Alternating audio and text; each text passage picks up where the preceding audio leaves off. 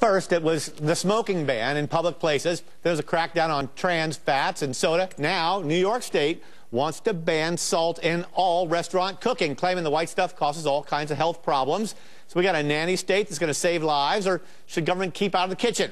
Let's talk to two people about it. Michael Ferraro, executive chef at Delicatessen, a restaurant in New York's hip Soho area, and Dr. Eric Braverman, founder of Path Medical and author of Younger, Thinner You Diet. Let's start with the chef. Michael, so the government wants to cut down on healthcare costs and get you to stop using salt. What's the big deal? Well, you know, I think you know salt is such an essential part of cooking. Uh, it's just it's one of those ingredients that it's just cooking is not the same without.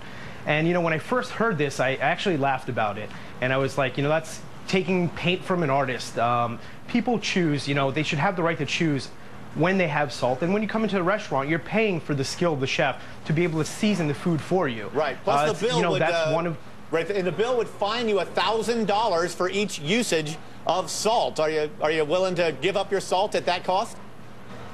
Uh, you know what? No, I'll be one of these people who are going to fight for my career and fight for my passion for food to be able to provide the food that people want and love in my restaurant. Okay. Dr. Braverman, I just got a couple words for you. Grits, mashed potatoes, french fries, delivery systems for salt, sir. Yeah. We need salt to live. Yeah. Where is your humanity? Where's humanity? It's called uh, heart disease, stroke, obesity, and an epidemic of of completely unfit, unhealthy Americans that are salt addicted and really using it as an antidepressant. Right, let's, yet, learn, let's learn how to cook finally with some spices and herbs and learn how to really feed our brain properly. Right. It's a great idea. It's going to make us healthier. We're all footing the bill for all the individuals with high blood pressure and stroke from but salt. But Dr. Braverman, this bill would allow salt shakers on restaurant tables. If salt's bad, let's just make it illegal everywhere. Well, it's not simple that it's and, and a ton bad. of other things There's always a role for salt, but nobody's suffering without nicotine inside the bars right now. So the bottom line is, we go to restaurants all the time in New York. You get charged a hundred bucks, and the people forgot how to cook. The Michael, chefs go don't ahead. know how to well, people are paying. They just load people it are in paying, yield to Michael, yield to the chef. People are paying because they choose to have seasoned food that is cooked properly and prepared properly. Mm. Uh, salt is an essential ingredient, and you know what? I don't really think that you, uh, you understand what food would be like without salt. Well, It'll Dr. be a life bland. Uh, Dr. Braverman, so, I got another you know proposal for you, Dr. Braverman.